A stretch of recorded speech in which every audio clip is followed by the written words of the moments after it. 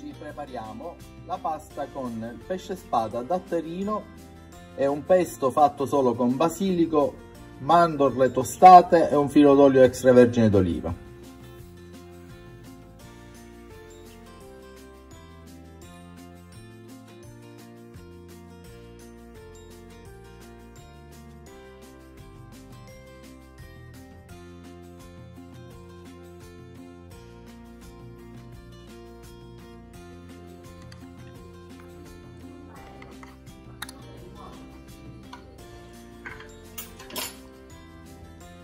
Mettiamo un po' di mandorle tostate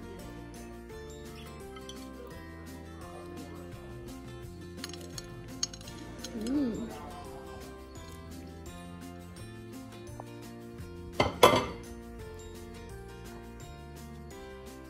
piatto pronto